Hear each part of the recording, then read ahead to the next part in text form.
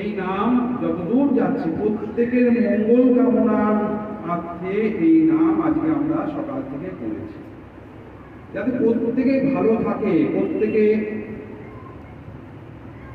ভালো থাকে, যার জন্যই এই নাম, প্রত্যেকের উপকার ভালোর জন্যই এই নাম আজকে আমরা সকাল থেকে, আজকে এই নাম আমরা করেছি প্রত্যেকের মঙ্গলের উদ্দেশ্যে। এই নাম বাড়িতে করে দেখবেন, প্রত্যেকে বাড়িতে করে পরীক্ষা করে দেখুন, এই নাম কথা বলে কিনা, এই নামে অভাব থাকবে না। এই নাম করলে সমস্ত ক্লেদ কুফলতা থেকে, সমস্ত থেকে মুক্ত হয়ে যাবে এবং জন্মমৃত্যুর হাত থেকে রেহাই পেয়ে যাবেন। এই নাম শুনলে মুক্তি, করলে মুক্তি। তাই মহানাম মহামন্ত্র থেকে ঠাকুরের বাণী একটু পাঠ করছি।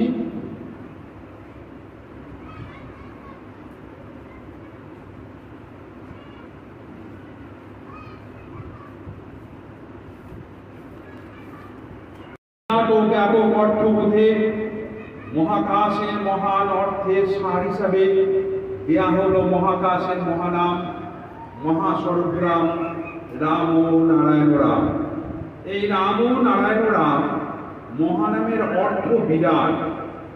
রাম হচ্ছে মুক্ত আকাশের মুক্ত বাণী। ম হচ্ছে মহাকাশের মহাবাণী, আদি বাণী। নারায়ণ হচ্ছে অনন্ত বিশ্বের সুরের সাথে যে সুর গেতে আছে এবং তোমার ধ্বনির সাথে যে সুর এক সুর দিয়ে গাথা, নারায়ণ হচ্ছে অনন্ত আকাশে, যাকে আয়ন করছে, আহ্বান করছে, আয়ন করছে তিনি নারায়ণ। এই রাম নারায়ণ রাম, এই কথা বললে সর্ব কথা বলা হয়। রাম নারায়ণ রাম, এই কথা বললে সর্ব কথা জানা যায়। বেদকরা, ঋষিরা, দেবতারা দুই বাহু তুলে বললেন, তোমরা সবাই দুই বাহু তুলে বলো, রাম নারায়ণ রাম নাম। এই কথা বলতে বলতে তারা আকাশের গতিতে, আকাশের গতির পথে, আকাশ পথে চলতে চলতে দেখলেন, সর্ব আকাশ যেন হয়ে আছে রাম নারায়ণ রাম। যেদিকে যান যেদিকে তাকান, সব দিকেই দেখেন রাম ও নারায়ণ রাম মহাকাশে খুঁজতে খুঁজতে দেখলেন, সব জায়গাটাই ফাঁকা। আবার রাম ও নারায়ণ রামের বর্ণ যখন খুঁজতে লাগলেন, দেখলেন সবই আঁকা। এই আঁকা এবং ফাঁকার মাঝে সব, আঁকা এবং ফাঁকা একই কথা। এইভাবে সমস্ত পৃথিবীতে বেদজ্ঞরা, দেবতরা, ঋষিরা জানিয়ে দিলেন একমাত্র কথা, একটি কথা আছে, রাম নারায়ণ রাম। পৃথিবীর মুক্তি, জীবের মুক্তি, এতেই রয়েছে সবার মুক্তি। এক আসনে বসে আছে যারা, সদা সর্বদা, শুধু বলো রাম নারায়ণ রাম।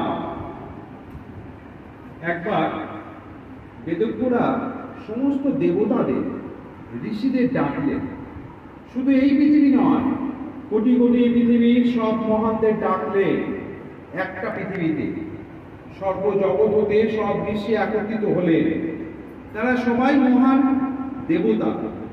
সেই পৃথিবীতে এসে হাজির হলেন কীভাবে জীবের মুক্তি হয়? কোন সুর, কোন শব্দ, কোন কথা বললে জীবের সব কিছুর সমাধান তাহা বের করতে সচেষ্ট হল?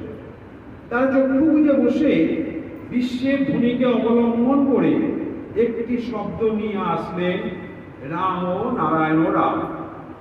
সমস্ত দেবতারা, সমস্ত ঋষিরা একই সুরে বললেন, রাম ও নারায়ণ রাম।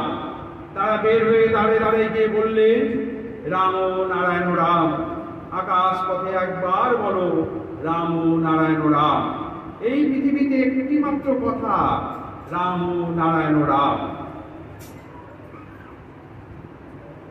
সকলের উদ্দেশ্যে করে রেখে গেছেন সামনের দিনে কি ঘটনা ঘটতে চলেছে তারই পূর্বাভাস ভোরের পাখির মতো আপনাদের জানাই কয়েকটি কথা। পরম পিতার কয়েকটি গুরুত্বপূর্ণ কথা। দেশের সামনে ভোট দুদিন আসছে। আর যারা মাংস ভাত খায় তারা তখন মাছ ভাতে নামতে বাধ্য হবে। আরও কিছুদিন পর ভয়ঙ্কর দুর্দিন আসবে তখন যারা মাছ ভাত খাচ্ছে, তারা তখন ডাল ভাতে নেমে আসতে বাধ্য হবে। তারও কিছুদিন পর দেশের ভয়াল, ভয়ঙ্কর ভোট দুর্দিন নেমে আসবে। তখন যারা ডাল ভাত খাবে, তারা তখন নুন ভাতে নেমে আসতে বাধ্য হবে। পরম পিতার কথা, যার কথা গণিতে ভুললে বেদবাক্য যার মুখের বাক্য বেদবাক্য। ঠাকুর বলছেন আমি প্রয়োজন হলে হিমালয় থেকে যোগীদের নামিয়ে আনব। তবু কোর্স আমি কমপ্লিট করব। যদি অন্য গ্রহ থেকে সন্তান নামাতে হয়, প্রয়োজনে আমি তাও নামাবো। তবু কোর্স কমপ্লিট করে যাব। পৃথিবীতে এক রাত হয়ে রয়েছে। আমি সোজা করে বসিয়ে দেব। তোমরা যদি কেউ না নামো, আমি প্রকৃতিকে দিয়ে এই বিপ্লব করাবো। প্রকৃতি দশ আনা, ছ আনা করে ছাড়বে। আজ রাশিয়া চীন ভারতের দিকে এগিয়ে আসছে। শত্রু হিসাবে এগিয়ে আসছে সে ধারণা সম্পূর্ণ নয়। আজ চীন বা রাশিয়ার দিকে তাকালেই মনে হয় এরা যেন আমাদের দেশকে গ্রাস করবার জন্য এগিয়ে আসছে। ওটা বোঝার ভুল হতে পারে।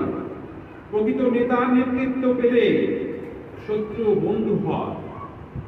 ঠাকুর বলছেন, এবারের বিপ্লবে থাকবে মুন্সিয়ানার ছাপ, সম্পূর্ণ মুন্সিয়ানার ছাপ। এই বুদ্ধির খেলা দেখে সারা বিশ্ব স্তম্ভিত হয়ে যাবে। আমি যদি একটু মোচর দিই কয়েক হাজার গ্রহ নক্ষত্র ধ্বংস হয়ে যাবে।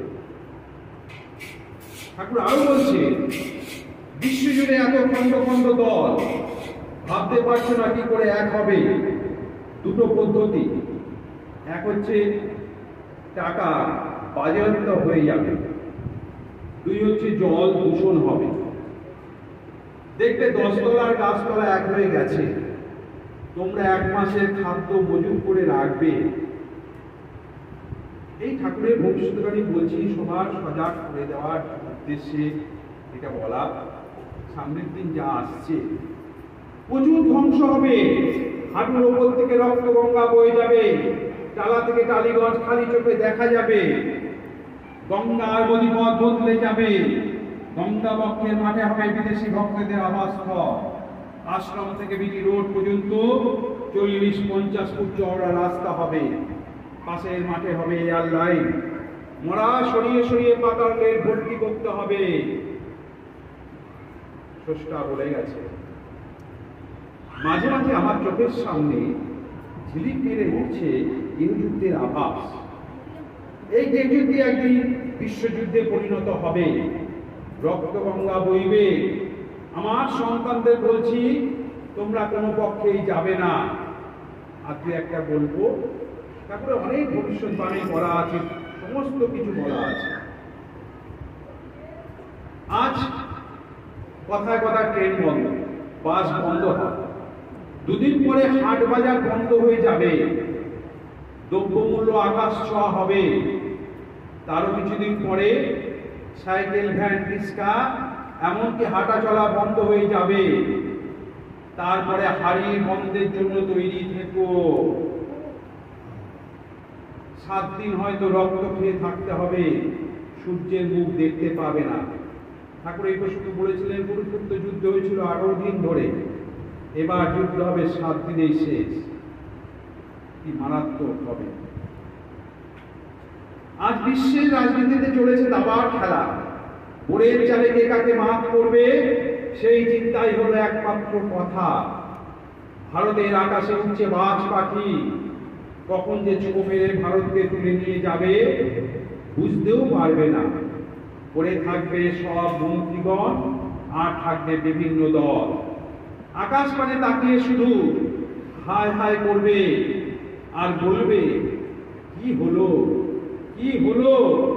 হলো এটাই ভারতকে আর রক্ষা করা গেল না। বণিকের মানদণ্ড ভারত জুড়ে আবারও রাজদণ্ডে পরিণত হওয়ার চক্রান্ত চলেছে। স্বদেশী ইংরেজদের সহায়তা। আজ বাংলা মানুষ যেভাবে খেপে উঠেছে, তাতে পিণ্ডির পিণ্ডত্ব প্রাপ্তি অবশ্যম্ভাবী। অচিরেই এরা পিণ্ড তৈরি করে কাকের মুখে তুলে দেবে। তোমরা বেদ প্রচার করো, বেদের মধ্যে আমি ডুবে থাকি। বেদকে স্পর্শ করলেই আমি বুঝব আমাকে স্পর্শ করেছ। বেদ পূজা করতে করতে যেন তোমাদের মৃত্যু হয়।